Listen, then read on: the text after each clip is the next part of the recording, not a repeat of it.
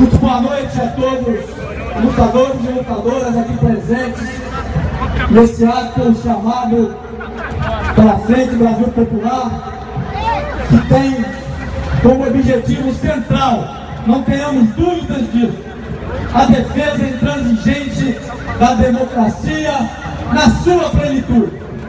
O povo brasileiro lutou, muitas vidas foram perdidas buscando que o, brasileiro e a brasileira tivessem voz.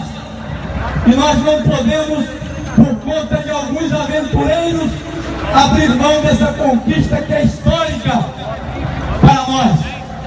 Então, essa é uma demonstração que o Brasil está dando, vai estar dando de norte a sul, e nós não estamos desatentos para essa tentativa de golpe, capitaneada que não se conforma em ter perdido a eleição e tendo como ponta de lança nessa estratégia o senhor Eduardo Cunha.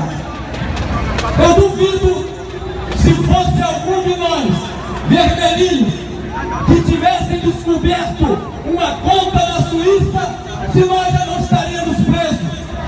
Mas a blindagem, quatro contas na Suíça, a blindagem que a mídia faz a é algo impressionante.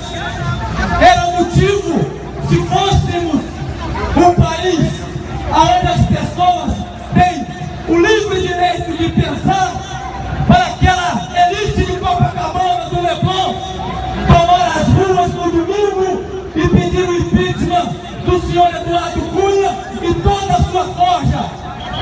Mas não vão fazer isso, porque as notinhas que saem na mídia são curtinhas e ele continua posando de bom moço.